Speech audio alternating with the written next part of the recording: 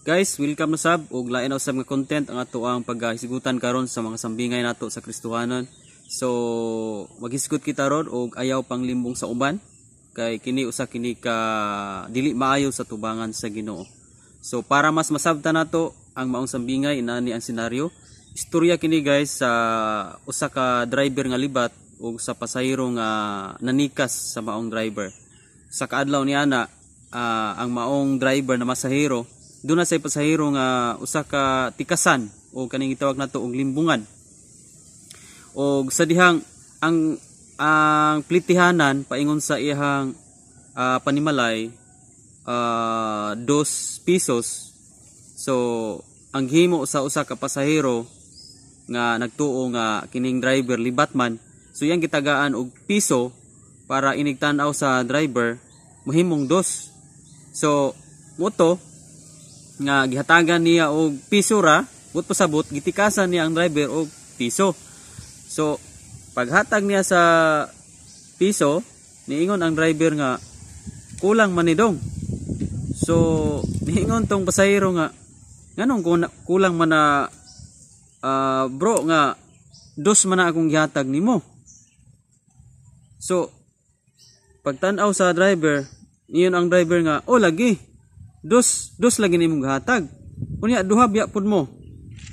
So mo to nga ah nang nahitabo nakabayad hinoon siya og 4 kay pagtanaw sa driver niya duha man pod di ba kay libat man tong driver. So dinhi lang ta mukutob sa atong sambingay guys.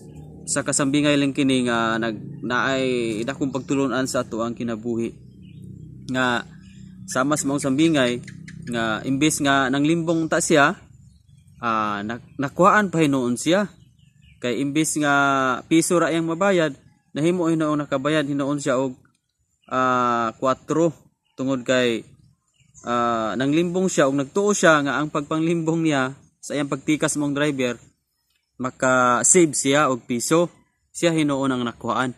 So kung imong kuha lesson mga kaigsuunan kaning giingon sa Proverbs 20 verse 17 ang imong linimbungan kapahimuslan mo sama sa lamiang kayong pagkaon apan sa madugay og sa madali may sama kini sa balas diha sa imong baba. Og laing verse Proverbs 28 verse 18 ayaw panglimbong og bahilayo ka sa kakuyaw panglimbong og mahiagom kas kadautan. So imong makita dinhi mga kaigsuonan nga kana bitaw nagtuota nga ang ato ang linimbungan is para makasave ta para nga makatabang sa atua o dako kini o katampo sa atua pero ang tinuod diha sa Biblia gisibutan nga ang atong mga linimbungan ang atong pagpanglimbong maghatag hinoon ni kadaot sa atong kinabuhi. Imbes nga makasave ta malakan sinuon ta. Okay? So dili maayo nga usa ta ka Kristohanon unya magkaon kita og linimbungan. Okay? Magkaon kita og tinikasan. Kay ang pagkaon og tinikasan matud pa sa Proverbs 20 verse 17 naisama kinis balas nga lami kayong ah, lami matud pa atong baliko na. Ang imo linibungan kapahimuslan mo sama sa lami ang kayong pagkaon apan sa madugay ug madal, sa madali. May sama kini sa balas diha sa baba so kapahimuslan tuod nato ang linimbungan. Kung makalimbong kita o makatikas ta. Kapahimuslan nato matud pa niya dre sama sa lamian kayong pagkaon. Okay naka nakabintaha ka, naka nakapabor ka kay nakalimbong ka, nakasave ka. Pero niin sa diri sa madali ug sa madugay may sama kini sa balas sa imong baba. So nagisgot siya balas sa imong baba. Kung makita nimo ang balas di as baybayon, nahimo gyud nang wala gyoy kaayo muturok nga mga tanom. Subot pasabot kung may sama na ganig balas sa imong baba, not literal na siya but spiritually uh, mahimo kining unproductive ta sa atuang kinabuhi. Og sa material nga uh, pagasulti dili ta uh, produktibo og dili ta anang progress ba sa tanan natong pagabuhaton okay? Adunay daghang mga kapakyasan dunay mga kadaghang kadaot kung nagkaunta og linimbungan. Munang kining maong sambingay dili gyud maayo nga ang Kristohanon magbaton og kinaiya o batasan nga tikasan sa tubangan sa Ginoo. Kay kung ato nang himuon, mahimo nga ato mga tinikasan, maora po na magdaot sa atong kalawasan. Okay? Mahimo nga ang atong mga linimbungan mag mag magbuo nagdagkong kadaot sa atong kinabuhi, sa atong career, sa atong family, sa atong job, sa atong pag-eskwela. Halos tanan natong mga aspeto sa kinabuhi apektado kung kita malimbungon sa tubangan sa Ginoo. Muna nga likayanon kayo ni sa usa ka Kristohanon ang pagtikas o paglimbong sa tubangan sa Ginoo.